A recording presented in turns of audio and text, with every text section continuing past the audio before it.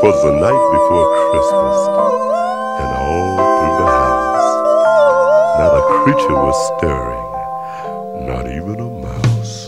In my mind